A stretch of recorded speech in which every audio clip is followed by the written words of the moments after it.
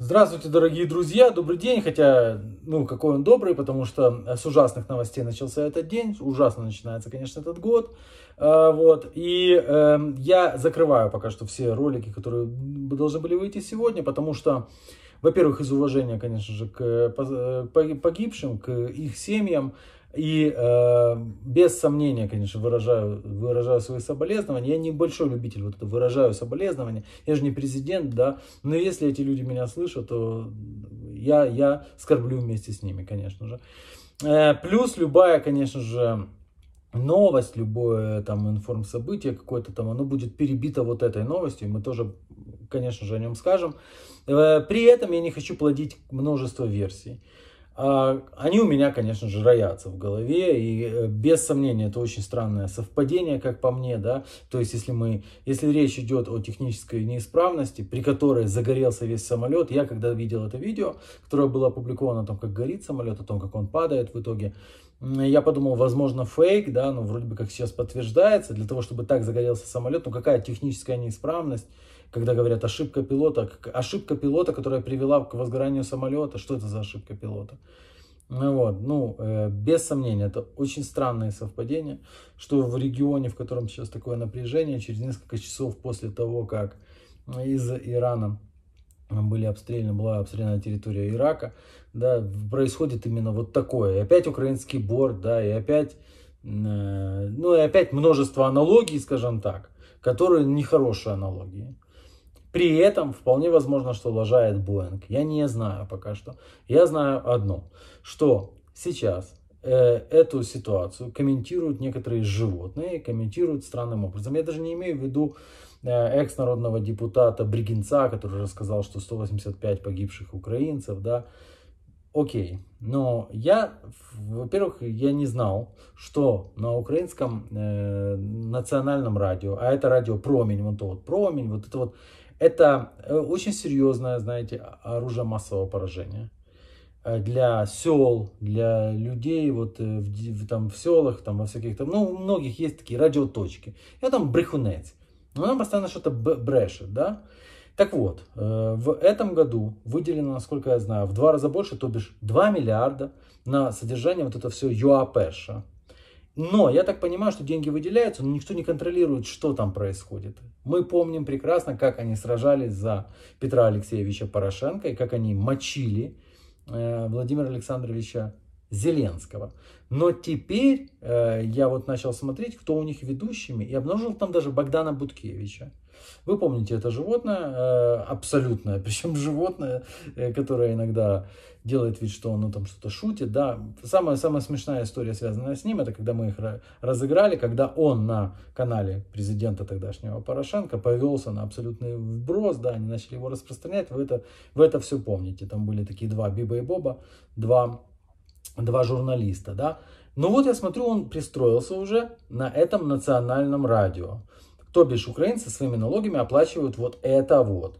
Тепер давайте послухаємо. Ще хочу е, звернути увагу. Я дуже сильно очікую на будь-які вкиди з боку російських засобів масової дезінформації, які дуже люблять е, працювати в таких умовах. Це для них, як ви знаєте, у всіх трупоїдів це завжди прекрасний час для своїх інформаційних спецоперацій. Я обязательно надо начинать рассказывать про российские средства массовой информации, причем про фейки. Это рассказывает человек, который запускал просто катастрофические фейки. Причем тут за собой российскую массовую дезинформацию. Мы, мы их не читаем, мы их не смотрим. Мы слушаем украинское национальное радио и хотим там услышать какую-то информацию внятную. Слушайте. Прямо вже дуже очікую повідомлень від російських оцих всяких шарашок і потім розганяння цієї інформації, що, мовляв, звичайно ж до цього мали стосунок американці. А американцы не могут иметь к этому отношения никакого? Ну, то есть это невозможно, чтобы американцы имели к этому какое-либо отношение. Априори невозможно. Меня очень смутило заявление, конечно же, украинского посольства о том, что исключена версия теракта. Как это так? Что это значит? Вы уже провели собственное расследование или вы очень хотите выслужиться перед теми людьми, перед какими-то людьми? Потом они удалили эту информацию. Очень странные телодвижения. С одной стороны, конечно же, для того, чтобы не разгонять, типа, чтобы не было вот еще больше напряжения, когда они скажут, не исключена версия, там, тогда можно вообще промолчать. Но именно категорично говорить исключена, как это? А если покажут самописцы что-то другое? Е, і ну я вже бачу просто деякі повідомлення. Мовляв, ой, сьогодні ж вночі, значить, е, Іран наніс удар по американських базах, і Федеральне агентство авіасполучення американське оголосило безпольотну зону на територію Ірану і Іраку. Ну, значить, от, мовляв, напевно, наш літак збили американці. А разве это не логично? Разве оно вот просто само в руки не идет, это сравнение? Ну хорошо, если бы произошло отказ двигателя, там какое-то возгорание, это новый самолет. Тут к МАУ действительно придолбаться ну, не, не, не, не к чему. Разве что к тому, что они даже не, не потрудились известить, к примеру, там, жену, уже вдову. Одного из пилотов, с ней разговаривали в эфире украинского телеканала, она сказала, что ей никто не звонил, никто даже ничего не сообщал, да, вот поэтому можно, по-другому нельзя, 16 года самолет, 6 января было очередное его обслуживание, новый самолет, хороший самолет, что могло вдруг произойти? Так вот, если бы это произошло где-то в Африке с Боингом, то сказали бы, ну, да, действительно, кошмар, но такое случается. Происходит это именно там, именно в то время, когда оно, по идее, ну, це странне совпадіння. Закликаю всіх бути дуже обережними. Е, я впевнений, що от саме це так і робиться приблизно всі ці історії про іспанських авіадиспетчерів. Це, якщо б раптом забули, це один з главних фейків був свого часу, коли росіяни збили е, малазійський Боїнг над Донбасом. Ну тоді були. От такое вот вынуждены слушать люди, у которых он работает, этот брехунец. И вы понимаете, что оно же действует на, оно же на подкорке откладывается постоянно. Вот это вот каждодневная пропаганда. Только одна программа. Я могу себе представить, какой трэш там несется за государственные деньги каждый день. Не менше, це дуже добра інформація про те, що слава тобі, Господи, абсолютно більшість людей на борту е, цього літака не були українцями. Как можно оценить вот это заявление? Ну, можно сказать, что психически не очень нормальный человек, да, ему дали возможность там вести свою передачу. Можно оценить это как плевок в лица всем тем людям, чьи близкие из других стран погибли на этом борту. Э, что значит «Слава тебе, Господи»? Ну вот, вот, вот почему? Потому что это уже не какая-то там э, программа частного телеканала. Это государственное радио. То есть на государственном радио радуються от этому. Отже, за інформацією РНБО, на е, цьому борту було зареєстровано 168 пасажирів і 9 членів екіпажу. І взагалі серед всіх загиблих було тільки 15 громадян України, серед яких два пасажири, а інші це були члени екіпажу. А, ну такое, ну пустячок, в принципі. Ну, що там? А іншими пасажирами були от хто. Е, Іранців було 71, канадців 73, 4 німця, 3 англійця, 8 шведів і 6 громадян е, країни Афганістан. Этих вообще не жалко, можно так сказать. Государственное радио. Он еще раз повторяет свой трешак. Ну, от така інформація, я так розумію, це вже офіційно можна говорити про це.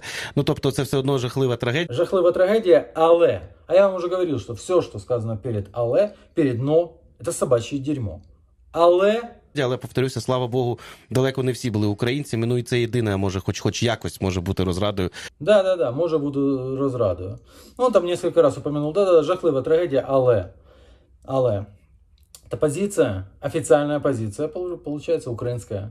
Потому что если бы на немецком э, официальном государственном радио сказали о том, что, слава богу, немцев там не было на этом разбившемся с украинцами самолете, да, это было бы воспринято реально как плевок в лицо, как оскорбление ну, государства, как оскорбление тех граждан, которые погибли и так далее и тому подобное. Здесь это происходит, это одна передача.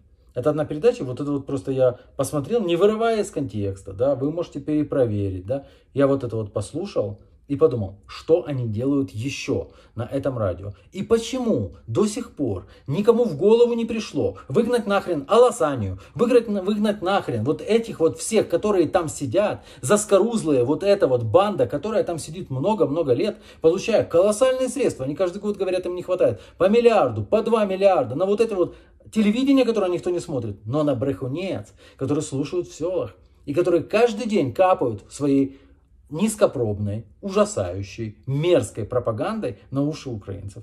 Я прошу, пожалуйста, кто-то там, там еще есть кто-то там вменяемый, еще не из Бадуна, да, во власти. Ребята, пожалуйста, а, обратите свое внимание на то, что происходит на государственном телевидении и на государственном, э, ну, на государственном радио. Кому вы вообще позволяете, даете возможность вещать оттуда? Вы хотя, бы, вы хотя бы знаете, кто эти люди?